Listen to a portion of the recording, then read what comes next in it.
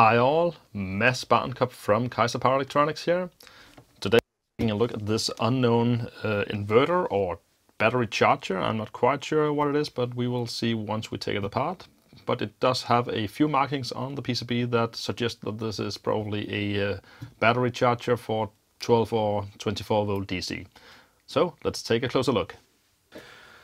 The unit itself is around, um, yeah, let's just say 3 to 5 kilograms.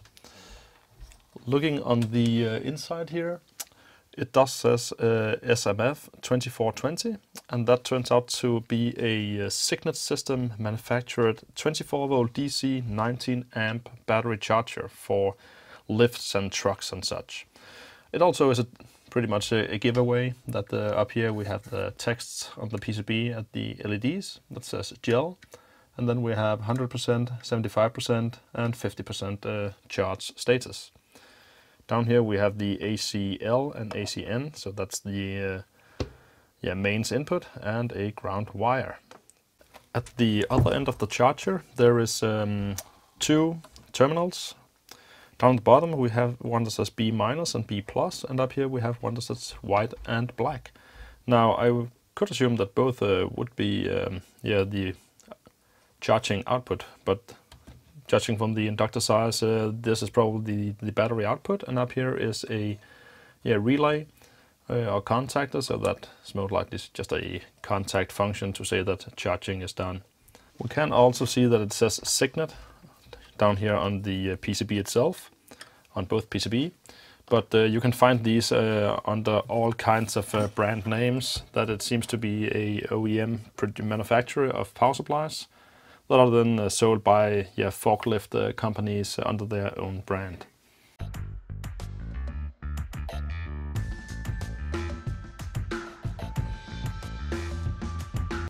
Starting at the uh, AC input wires here, we can see that we have a common noise choke here.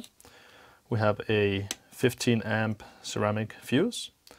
Then there is a regular um, common mode uh, noise filter with the two inductors and uh, two capacitors. And over here we have a bridge rectifier, which is a 600 volt, 15 amp. But that must be with uh, some uh, serious heat sinking because this is not much bigger than a uh, 6 amp uh, rated uh, bridge rectifier. The rectified um, DC voltage goes, yeah, maybe that's black and red could also be um, green and brown. Oh, that got to the midpoint. Must be these two. Because uh, on the other side here we have the uh, four 1200 microfarad 200 volt um, DC electrolytic capacitors and that goes back down into the inverter here. Now over here there is a range of let's see ultra fast diodes and we have the switches sitting under these um, insulating sleeves.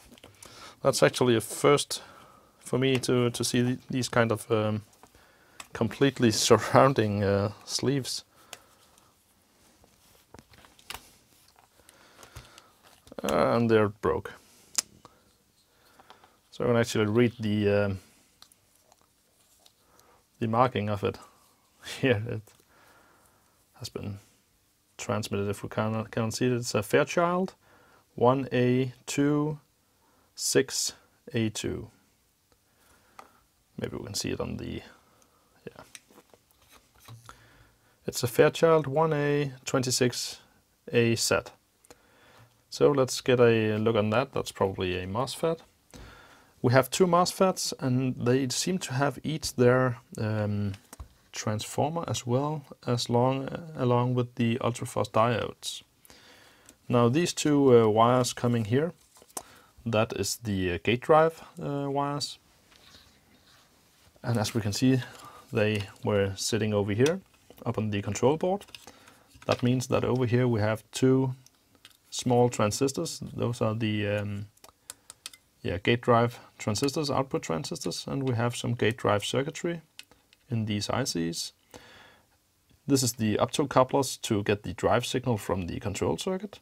And other than that, it does have its own isolated uh, power supply uh, from these two.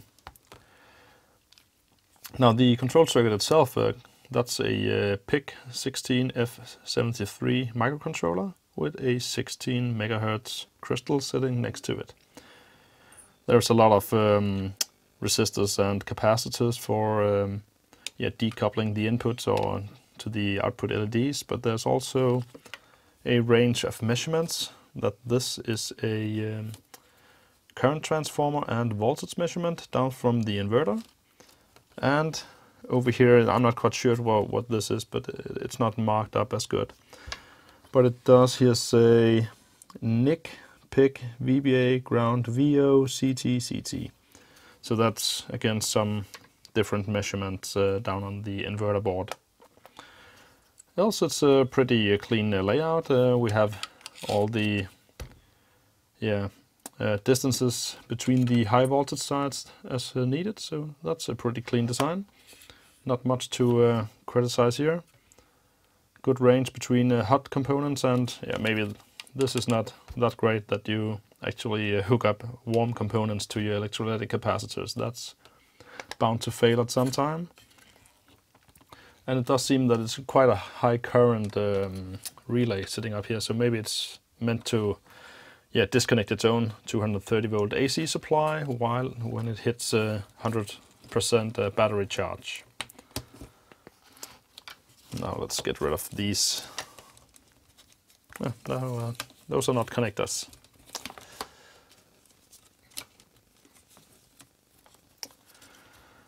So the uh, output side, we have uh, the two output diodes sitting over here. Those are, let's see, IXYS, DSEK60 mm, O2A. So those are most likely Schottky, uh, double Schottky diodes. We have a, a large um, output inductor here and there is a yeah, another contactor, 30 amp. That could be an output um, contactor to actually break the uh, the output. And then it ends with a last uh, common mode um, noise choke here. And it also has a 40 amp fuse soldered directly on the PCB on the output. So that is the battery connector we have over here. I hope you enjoyed the teardown of this uh, small 600 watt uh, battery charger. I'll put a, a few pictures at the last 20 seconds of the video for you to enjoy. So until next time, see ya.